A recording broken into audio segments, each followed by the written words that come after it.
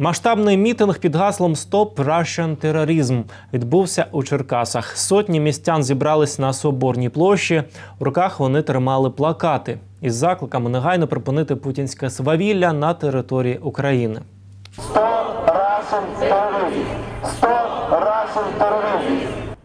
Тема протидії тероризму на території України об'єднала у Черкасах сотні містян. На захід вони прийшли із плакатами Я Волноваха і Стоп терор. Потому что мне не все равно, что творится в моей стране, в Украине. Э, Мне не наплевать.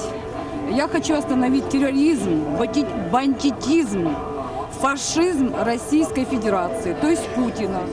Потому что мне не все равно, э, как будут жить мои дети, как будут жить мои внуки. Хвилиною мовчання присутні вшанували пам'ять усіх загиблих від рук терористів. Свою громадянську позицію прийшла висловити її черкащанка Ірина і з собою привела дітей. По-перше, перемогу наблизить не тільки ті солдати, які знаходяться на передовій, а й надійний тил.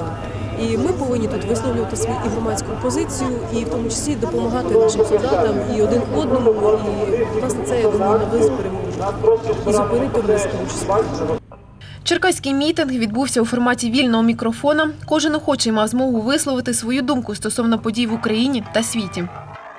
Ми хочемо заявити всьому світові, що не треба бачити тільки те, що коїться во Франції, в Парижі, а треба побачити те, що коїться на Україні.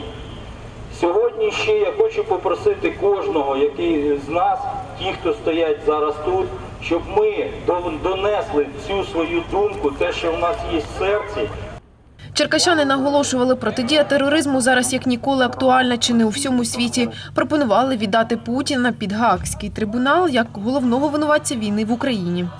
Я боюсь, що росіянам це не покажуть.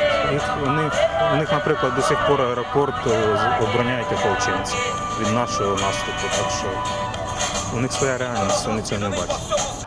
Подібні мітинги відбулись у багатьох містах України, зокрема у столиці, Дніпропетровську, Кіровограді, Тернополі, Львові та декількох містах Донецької та Луганської областях.